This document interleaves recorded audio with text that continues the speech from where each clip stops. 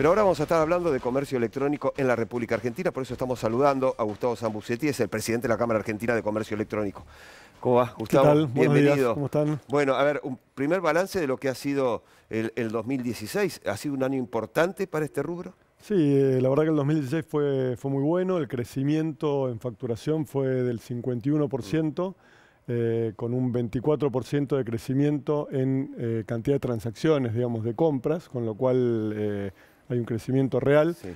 Esta es una tendencia que, que viene, este, digamos, que se reafirma, hace 10 años prácticamente que el comercio electrónico crece a estas tasas, eh, con lo cual, bueno, estamos, estamos muy contentos y, y con, con muchas expectativas a futuro. Gustavo, ¿pensás que el, el programa de precios transparentes va justamente a generar una baja en el precio, por ejemplo, al contado de algunos este, artículos?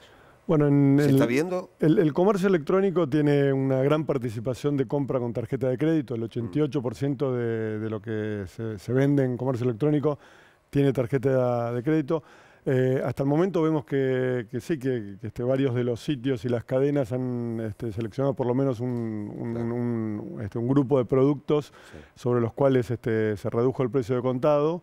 Sin embargo, el, el impacto que tiene en los productos, sobre todo de ticket alto, eh, el tema de cuotas eh, es relevante. ¿no? Bueno, ahí está justamente la diferencia. Cuando hablamos de productos, a ver, ¿cuáles son los más vendidos? ¿Cuáles son los más comprados? Bueno, en términos Porque de... hay una variedad Sí, enorme, sí. cada vez más. Bueno, eh, es un- eh, justamente es, es parte de la buena noticia el hecho de que cada vez se compren más categorías. Hoy el, el argentino que consume online, que son cerca de 11 millones de, de personas que consumen eh, al menos una vez cada seis meses, eh, está ampliando su cantidad de rubros, compra 2,8 rubros por año. Eh, si lo miramos en términos de facturación, el rubro más importante es turismo, pero esto ocurre en prácticamente todos los países. Eh, la buena noticia es que turismo hoy es el 27% de la facturación total, eh, pero hay muchos rubros, este, lo sigue todo lo que es tecnología y electro, Sí, claro. que cuando lo sumamos está cerca del 20%. Y hay rubros que vienen creciendo este, muy fuerte, como todo lo que tiene que ver con decoración, hogar y construcción, con cosmética y perfumería, con accesorios para autos, y son rubros que tienen mayor eh, periodicidad de compra, con lo cual nos, este, nos, de alguna manera nos adelantan que, que el crecimiento de comercio electrónico se va a seguir dando no solo por nuevos usuarios, sino por los mismos usuarios que compran cada vez más rubros. A ver, usuarios que compran por internet, ¿lideran en las compras los hombres o las mujeres?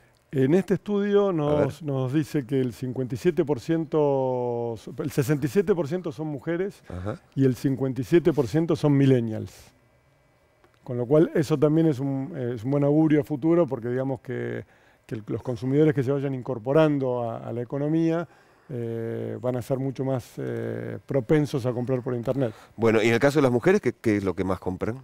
Las mujeres compran eh, pasajes, Sí. indumentaria.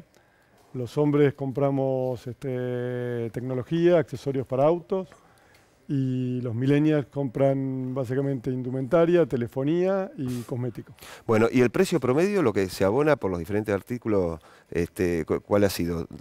Eh, el precio promedio anda alrededor de unos 2.000 eh, por, por transacción. Este, si miramos todo el, toda la economía digital, digamos que son eh, este, es aproximadamente 2.100 eh, pesos. Bueno, a ver, este es un rubro, como decíamos, que está creciendo y que está generando mucha expectativa en muchísimos rubros que antes no estaban metidos dentro de la web para ser vendidos. Yo me imagino que también una cosa son los compradores y otra cosa son los futuros vendedores que van a estar incorporando sus artículos Tal cual. a cual. Internet. Me imagino que debe haber muchos que se van incorporando, así como se incorporan nuevos compradores.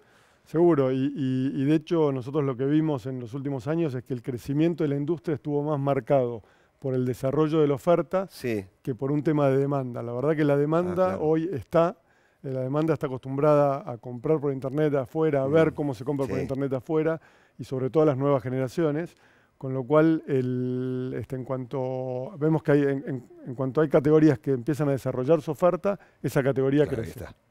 Gracias, Gustavo. No, gracias a Un placer, como siempre. Gustavo Zambucetti, presidente de la Cámara Argentina de Comercio Electrónico.